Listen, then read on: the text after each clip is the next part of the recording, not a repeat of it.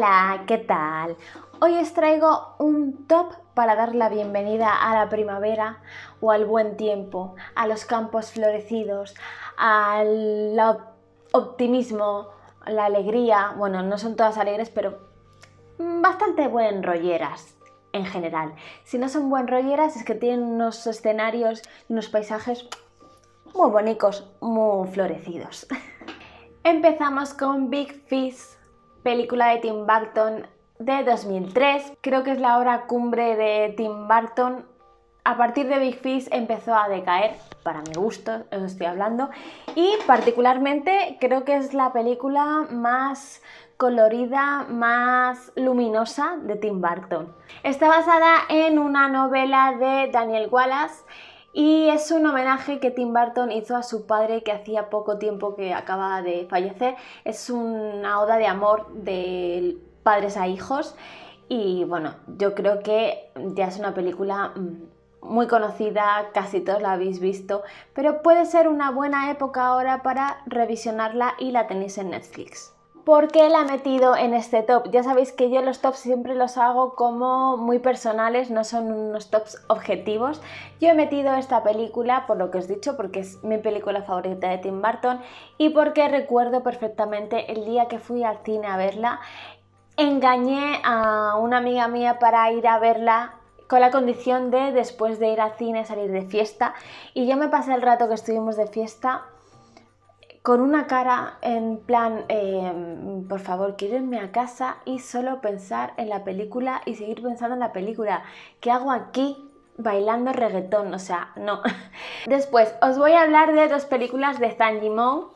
Yo había puesto en la lista La Casa de las Dagas Voladoras, película de 2004, y después he recordado que también tiene Hero, que fue de 2002 aunque creo que en el resto eh, del mundo, en China se estrenó en 2002, pero creo que al resto de cines llegó en 2004. Entonces, eh, no sé si se estrenaron como 2004 y La Casa en 2005, fue así como una detrás de otra. ¿Qué tiene de particular La Casa de las Dagas Voladoras? Eh, que visualmente es una maravilla. Yo estaba muy obsesionada con Zanimou eh, después de ver estas dos películas y no sé, si no las habéis visto, lo que es verdad que mm, no las he encontrado en ninguna plataforma. Están difíciles de, conseguir. Si vosotros sabéis dónde podéis, eh, dónde se pueden ver, me lo podéis dejar en los comentarios. Cosas a destacar. Eh, la banda sonora de la Casa de las Dagas Voladoras la hizo el japonés Shigeru Unebayashi, lo estaré pronunciando mal seguro. Bueno, pues yo investigando eh, ha hecho bandas sonoras como Deseando Amar, 2046, My Blueberry Nights y una con la que ganó eh, Premio Cinematográfico de Escritores o eh, Premio de Escritores Cinematográficos, hizo la banda sonora de La novia de Paula Ortiz, que es una película española que os hablé de ella en el último vídeo de películas de directoras, de mujeres directoras. Entonces, no sé, ha sido como un flasazo eh, descubrir que es el, creador de la banda sonora de La novia y de La casa de las dagas voladoras. Y después, como os digo, tenéis Hero, que se hizo dos años antes. Eh, protagonista es Jet Li. Eh, claro, es que esta no es tan primaveral, porque es...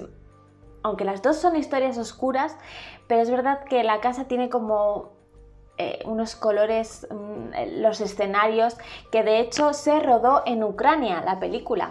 Eh, um, porque según el director en China no podían conseguir esos campos tan abiertos para rodar las escenas de acción. A mí me parece una maravilla. Y después de Hero, la fotografía es de Christopher Doyle que es un director de fotografía que he descubierto hace poco y que estoy investigando gracias a un curso de, que he hecho de dirección de fotografía. Y es un, es un director de fotografía de origen australiano, pero que se mudó a China muy joven y por lo visto allí es como el, como el, Roger Deakins de, de, la dirección de fotografía en Estados Unidos, ¿no? ¿Cómo no podía estar en esta lista la película en la que yo conocí a la reina de mayo Flores Puch, Midsommar, película de 2019. Es el segundo largometraje de Ari Aster, el director de Hereditary, que me encantó y esta pues no, no fue menos. No sé si se había hablado aquí de, de Midsommar, pero la recomiendo un montón. Y mm, hay algo que me flipa de esta película, más allá de, mm, del guion, de la ambientación, de lo que consigue contar, de, de lo perturbadora que es esta historia. Y es que consigue todo esto, consigue hacernos sentir incómodos con tanta luz.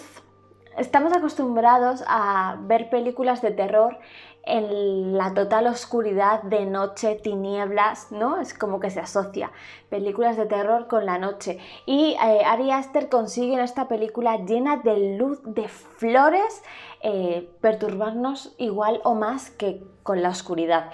Y eso es algo que a mí me flipa, me flipa, me encantaría conseguir porque yo con mis fotografías soy tiendo a ser muy oscura y me gustaría darlas un poco más de luz, pero seguir teniendo ese contenido oscuro. Y es muy difícil de conseguir, amigas y amigas. Ahora os voy a hablar de una película que no he hablado de ella en el canal, que me gusta muchísimo. Hace mucho que no la veo, pero cuando la, salió, cuando la vi, me sabían los diálogos, las escenas. Es una de las películas con la que yo aprendí a estudiar el cine, a, desgranar una película, a fijarme en los planos, en los movimientos de cámara, en todo esto. Creo que ahora pensándolo no me doy cuenta, pero creo que es una de estas películas y, da para ello porque su montaje en la época por lo menos fue bastante, no sé si la época o a mí, a mí, cuando la descubrí, fue como chocante, ¿vale? Y os estoy hablando de Amélie, película francesa de 2001 dirigida por Jean-Pierre Jeunet, lo siento mi pronunciación, y con la banda sonora maravillosa de Jan Tiersen. Yo sé que es una película que eh, tiene muchos detractores y yo en mi pequeña burbuja eh, sin redes sociales, yo pensaba que era una película muy amada. Cuando empecé a entrar en redes sociales me di cuenta de que hay mucha gente que la odia. Y creo saber por qué. Porque normalmente hay una tendencia a eh, que no gusten películas tan optimistas. Esta película es una película muy optimista, es verdad que es todo... Mm, al final el mensaje es que todo irá bien, si eres una buena persona el karma te devolverá bueno, que, que tienes que atreverte a conseguir tus sueños, a luchar por ellos. Sé que es muy happy flower y que luego en la vida la realidad es otra, ¿no? Pero creo que es muy bonita y, está muy bien hecha y no sé, es una película optimista e ingenua. Entonces yo creo que por eso tiene detractores, pero bueno, a mí me gusta mucho. Ahora os voy a hablar de una película que me recordó ayer eh, Samu y es Medianoche en el Jardín de Bien y del Mal de Clint Eastwood. Una película de Clint Eastwood que mm, no es muy conocida, no es una película que conozca mucha gente, tampoco se puede ver en muchas plataformas, no entiendo por qué. Y para mí es un 10 de película, me encanta. Es una película de 1997 y es la adaptación de una novela de John Berendt. Eh, tiene un elenco espectacular, la verdad. John Cusack, Jude Law, Kevin Spacey. Brutal. Como siempre, tanto banda sonora como fotografía están hechos por el equipo de Eastwood que le sigue en casi todos sus proyectos. ¿Qué pasa con esta historia? Pues que es una mezcla de géneros. Es, eh, mezcla el thriller con la comedia, eh, tiene toques sobrenaturales y entonces esa mezcla como bien os hablaba hace poco de una película que me encontré esta mezcla de géneros que no acababa de funcionar, que era la modista, creo que aquí funciona a la perfección. Y bueno, si tenéis la oportunidad de encontrarla, de verla, os la recomiendo muchísimo, de verdad. Ahora os voy a hablar de Antes del atardecer. Y me diréis, ¿y por qué no recomiendas Antes del amanecer? Antes, que es la primera, vale. Está Antes del amanecer, Antes del atardecer y Antes del anochecer. Es una trilogía dirigida por Richard Linklater. Lo estoy pronunciando mal, no sé. Y coescrita junto con Ethan Hawke y Judy Delphi. Creo que Antes del Amanecer es una película bastante conocida. Si no, la, si no conocéis la trilogía, os la recomiendo muchísimo porque además está rodada en tiempo real. O sea, de la primera a la segunda pasaron nueve años como pasa en la ficción de la película. Y es un encuentro, la primera se conocen, un chico y una chica, y en la, la segunda es un reencuentro y la tercera pues es que no voy a hacer más spoilers. Porque creo que esta, eh, antes del atardecer, mm, me parece más luminosa, más primaveral, más, no sé. Eh, supongo que porque está casi toda rodada en un atardecer, ¿no? Eso hace mucho. El paseo, la escena del paseo por el Sena eh, me parece muy inspiradora y no sé qué. Bueno, en general recomiendo mucho esta trilogía. Creo que es una de las películas con mejores diálogos que he visto yo en la vida y eso que les recomiendo mucho. Del 2004 es antes del atardecer. Ahora os voy a hablar de 500 días juntos o 500 Days of Summer, eh, como es la, traducción original.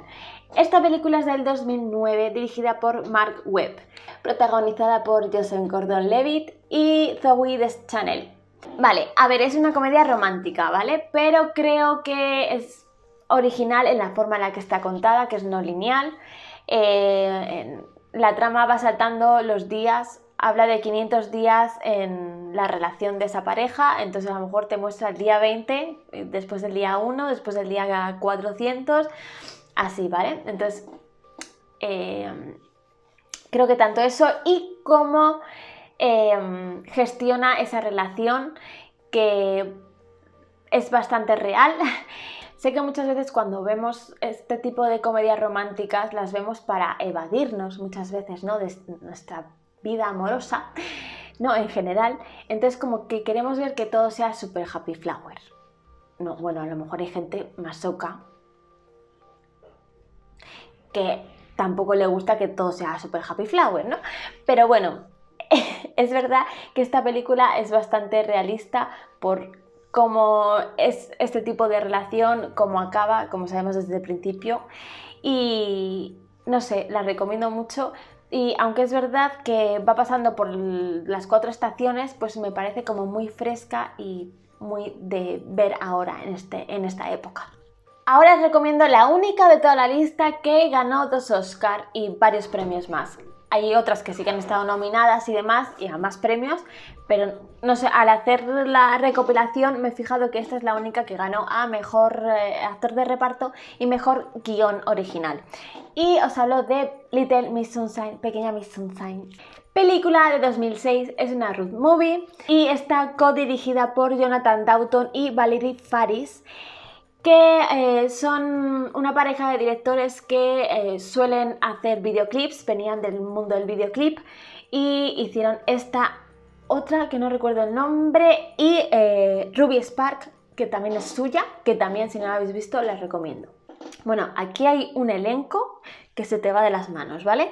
Alan Arkin, que fue el que ganó el Oscar a Mejor Actor de Reparto. Tony Collette, Greg Kinnear, Steve Carell, Paul Dano, Abigail Breslin. O sea, y esta película tiene una escena, para mí, yo tengo como una lista de escenas felices que me hacen feliz cuando las veo del cine.